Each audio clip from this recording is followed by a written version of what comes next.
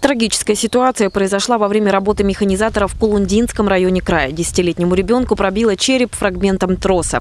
Несчастный случай случился 28 июня в селе Виноградовка. Мужчина управлял трактором К-700. По данным следствия, нарушение всех правил при ведении погрузочно-разгрузочных работ.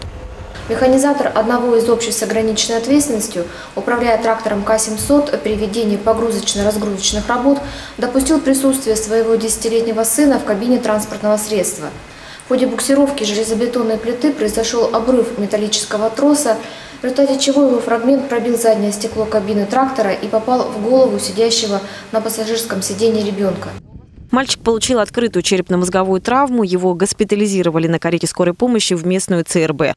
По факту травмирования несовершеннолетнего Следственный комитет по краю возбудил уголовное дело.